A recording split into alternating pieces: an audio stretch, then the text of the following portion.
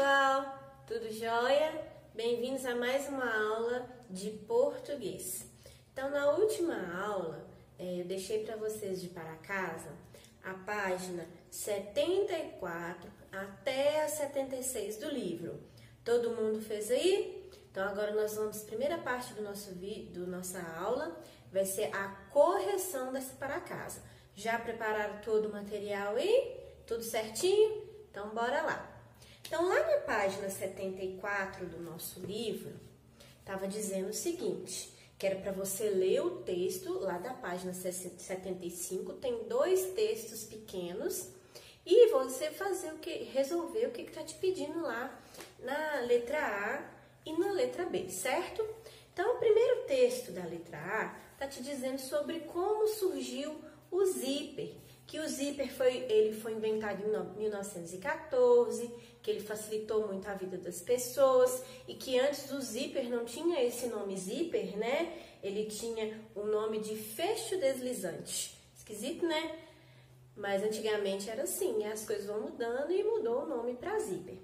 Aí, na letra A, tava te dizendo, tava te mostrando que tinha uma frase a respeito do zíper que ela estava escrita fora de ordem, que era para você colocar ela em ordem. Então estava escrita assim: as roupas do zíper a maneira facilitou de fechar. Então você teria que pensar e colocar a frase de uma maneira que ela fizesse sentido, porque do jeito que a gente leu ficou totalmente sem sentido, né? Então, a maneira correta que ela ficaria seria: o zíper facilitou a maneira de fechar as roupas certinho? Lembrando que a correção é mais rapidinho, porque o nosso tempo é curto, infelizmente, né? Na letra B, o texto que estava te mostrando aí era um texto falando sobre o código de barra. Como que o código de barras facilitou também a vida das pessoas, porque antes o preço era colocado item por item. Imagina o supermercado, aquele montão de coisa, colocar o preço um por um, latim por latinha, chocolate por chocolate caixinha por caixinha. Então, o código de barras, ele facilitou muito a vida das pessoas ali. E ele foi inventado no final da década de 50. Ele foi inventado em 1950. Mas antes, ele era usado somente em ferrovias e empresas varejistas. Depois é que ele foi é, para esse modo em que todos os produtos têm código de barra, igual nós vemos hoje. E aí tinha outra frase desordenada. Antes, o que demorava muito eram registrados os produtos do código de barras individualmente. Então, era para você também colocar essa frase em ordem e ela vai ficar dessa forma. Antes do código de barra, os produtos eram registrados individualmente. O número 5, lá da página 76, tinha um texto escrito todo junto, sem separação, é, somente com pontuação, frase, o título todo grudadinho, o texto todo grudadinho, de, é, sem as partes, sem separação de palavras. E aí te pediu para você reescrever o texto de uma maneira que ficasse mais fácil de entender. Mas antes disso, te perguntou assim: você conseguiu ler e compreender facilmente o texto anterior? Por que isso aconteceu? Então tem gente que vai responder que foi fácil, teve facilidade de, facilidade de ler e tal. Mas tem gente também que vai responder que não foi tão fácil, porque as palavras elas estavam todas emendadas umas com as outras. Então faltou ali a separação é, das palavras para poder facilitar a leitura. E na letra B te pediu para com lápis de cor você separar cada palavrinha do texto para facilitar a leitura. Então, vou ler só a primeira linha aqui. Quando ficamos sem comer por muito tempo. Essa frase está toda embolada. Então, você vai separar palavrinha por palavrinha. Quando faz um traço, ficamos faz outro traço, sem outro traço, comer outro traço, por outro traço, muito, outro traço, tempo, muito, outro traço, e assim por diante até terminar o, leto, o texto. E aí no final era para você escrever o texto é, da maneira correta, mais fácil, separando palavrinha por palavrinha. Combinado? Então vamos para a matéria de hoje. Então hoje é, na matéria de hoje, lá da página 77, nós vamos ter um assunto muito interessante que é o uso da letra E e da letra I na escrita de algumas palavras. Porque tem algumas palavras, principalmente nós que somos mineiros, né, que temos mania de às vezes falar algumas palavras de uma maneira não errada, né?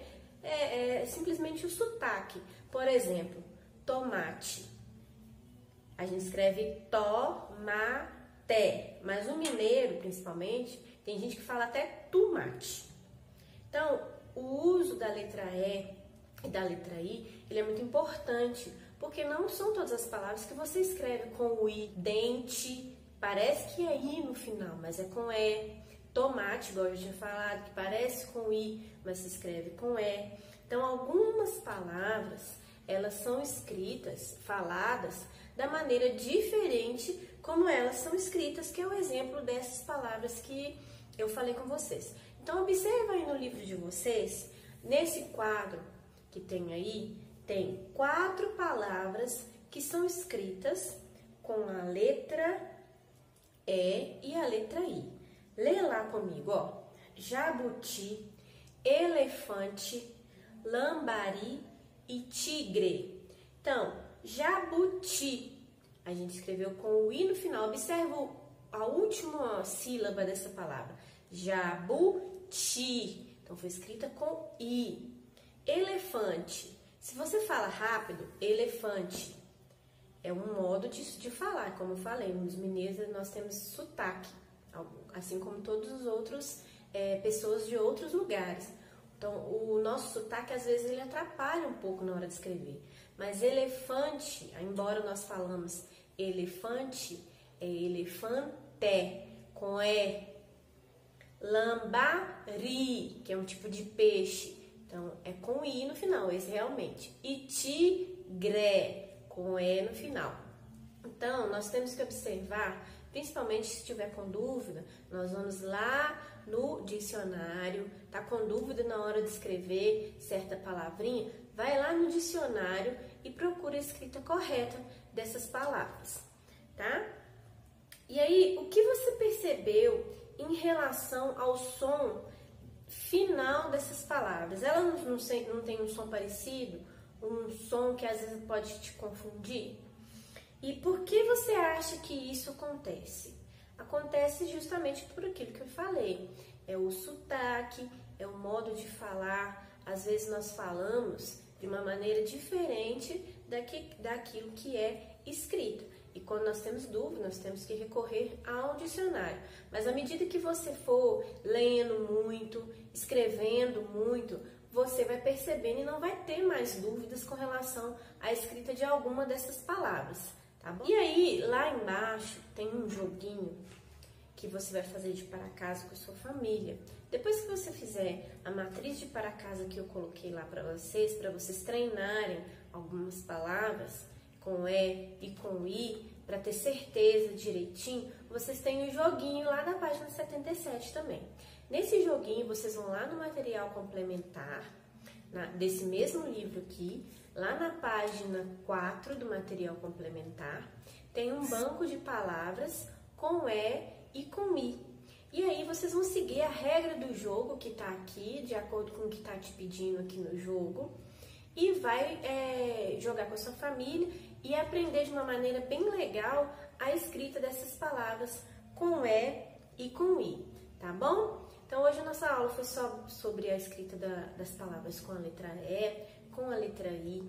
Lê bastante, tá com dúvida, vai lá no dicionário, faz o para casa, com capricho, com atenção, depois vocês me contam, tá bom? Ó, beijão para vocês e até a próxima aula.